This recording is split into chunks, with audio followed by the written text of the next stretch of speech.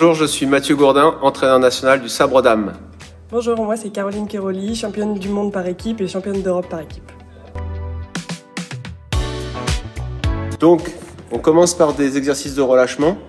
En touchant deux fois à la cible, ça permet un petit relâchement entre chaque coup. Et, euh, et on va faire les trois cibles, donc deux têtes, deux flancs, deux ventres.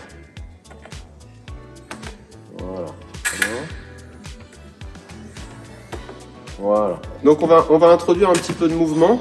Euh, sur sa marche, Caroline va coordonner deux coups à la tête. Ensuite, elle fera de manière statique deux, deux flancs, deux ventres.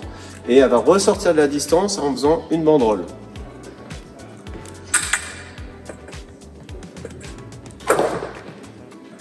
Ce qui est important, c'est de voir aussi comment Caroline se place avec son buste.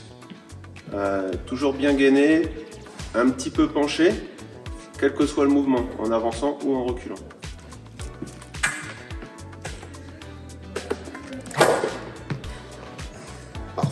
Donc cet exercice, il est intéressant parce que, euh, bah, évidemment, on peut le faire seul avec un mannequin. Euh, ça, nécessite beaucoup de, relâchement, on peut travailler la coordination. Euh, on peut introduire un peu de mouvement et, donc on peut développer à l'infini. on peut toucher une fois, deux fois, faire des enchaînements très variés. Et, et, et d'ailleurs, on voit souvent les athlètes le faire ici seuls par moment pour retrouver un peu de sensation, de doigté. donc c'est vraiment, vraiment un exercice intéressant.